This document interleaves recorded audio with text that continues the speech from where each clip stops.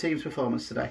It's a it's a tough one because we've come off at the end of the game saying, do you know what, we'll we'll take a draw at the end of the game. Um, could have been five all.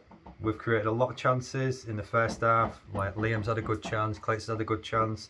At the end, we thought we could have nicked one, but I think in the grand scheme of things, when you look back, I think a draw is a fair result because they've also created quite a few problems for us down the down the our end as well. So looking back, I think we'll we'll take a point at the end of the game.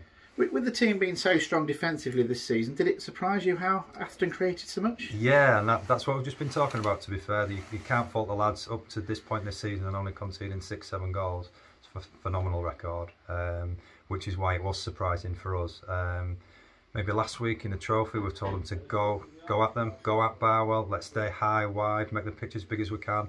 This week we've probably carried on in a similar vein, but we needed to shore it up a little bit, especially when they when we lost possession and, and um, Atherton got on the ball.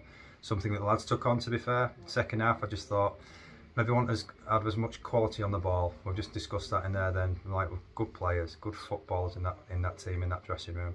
But for some reason, we didn't really keep the ball as well as we could in the second half, and didn't maybe didn't create as many opportunities as we could have as well. Uh, he says a lot about the character of the team, though, to concede early and then still bounce back. That's another thing we said. Yeah, especially when you look at the average age of the team. You are talking about young lads. Especially at half time, was having a discussion. We need to be able to manage games better. But when you look at the age of them, it's difficult to do sometimes. It takes a bit before people can manage games like that.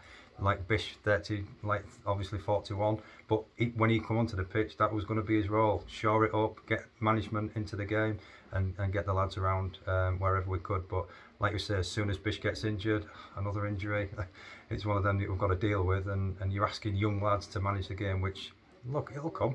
It'll come in good time, but maybe asking a little bit for it to be to be straight away. It's very unlucky to get two centre halves go off injured in the first half. How are they both? Um, struggling a little bit, to be fair. Um, Rice is obviously overstretched his front groin, so again, that's that's not looking good in the near term. And, and Bish has done his medial, so that's looking that's not looking good at all. So Bish will be the longer term, but hopefully Rice's won't be too bad. With the games we've got coming up thick and fast, Saturday, Tuesday, Saturday, Tuesday, we need him back sooner rather than later. Uh, and one man who again uses all experiences, uh, Clayton Donaldson. Two another good two goals.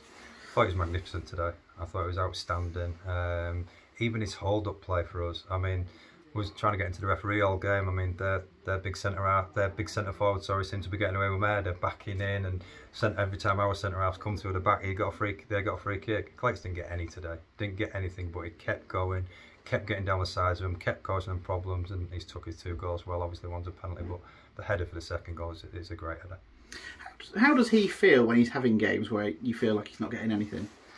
Um, it's a tough one really because he's he's old enough to know how football works now. He's been around the game for that long. I mean, if anything, he loves playing with his younger players because they're his legs at times. He's, we've asked him to box clever. We don't want him here, there and everywhere. We want him where he's going to cause damage to teams. Get him in the penalty area, get him in and around there and let's create those chances for him. So he knows referees can be good, can be bad. To be fair, I've prepared him for it anyway because in the warm-up I was doing the, the refereeing for the possession and I gave him nothing. So he knew what was coming for the game. I've tried to get him ready for it, but yeah, he just he plugs away, keeps plugging away and he can't get frustrated. You know you're going to get games like that with a referee. Uh, and you mentioned how thick and fast the games are coming. Marske on Tuesday, they don't get much trickier than that, do they? No, I mean, it's that's the league for you. You only have to look at the next three, four weeks, Saturday, Tuesday, Saturday, Tuesday, Saturday, Tuesday. That's a big shift in the season, that, hopefully. I know we've got a couple of home games, but if we can pick up some points on travels as well, to be fair to the lads, seem to have done better away from home at recent, like going to, to Warrington and getting a 2-0 result. That's a great result up there. Obviously go to Marske it's, it's something where you might think, you know what, we can maybe go and be a bit more defensive, maybe counter-attack, maybe sit in and make sure that we don't concede as many goals. But yeah, another another game that we'll be looking forward to on Tuesday night. And you mentioned all these home games. Another really good attendance today, and they create a really good atmosphere, don't they, the Trinity fans? Do you know what? They really do, because even when we was up against it, like you go a goal down and you think, oh, are they going to turn? Are we going to start to hear the, the like the jeers and a, a, few of the like sighs and groans when, when things don't go your way? But that, that didn't come. That never happened, and, and obviously the boys really appreciate out there because everything that we can get from the crowd is obviously going to benefit us and, and help us towards getting the three points that we want. But at the end of the day, we'll take a point today. Okay, thank you. All right, no worries.